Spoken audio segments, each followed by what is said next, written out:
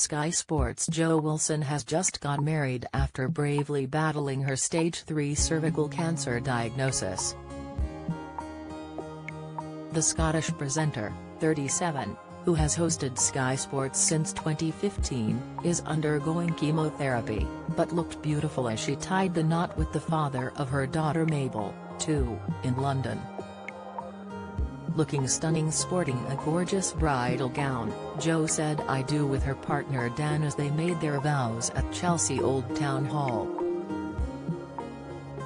The mom of one had her last chemotherapy session just three weeks before her big day as she admitted to some dark days over the past couple of months.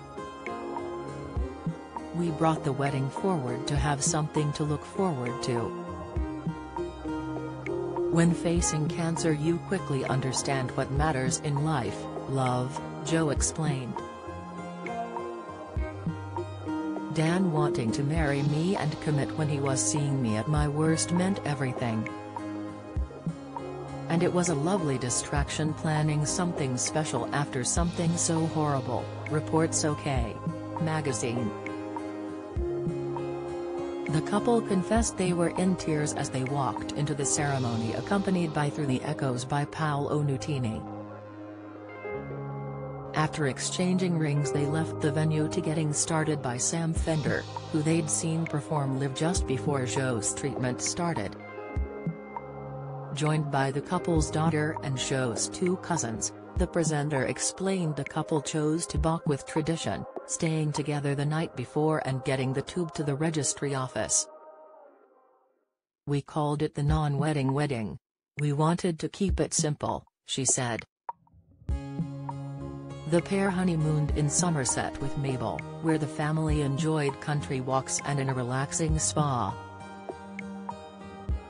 As the couple woke up the morning after their wedding, they said, Hey hubby, hey wife which Jo sweetly said, made us smile.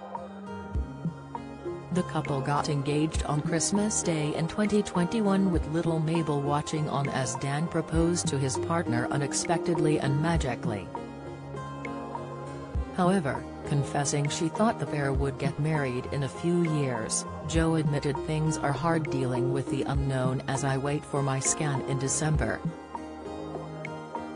The anxiety around my scan could be a bit of a hindrance, she admitted. Even if I start to feel better physically, the mental side of things is hard to deal with.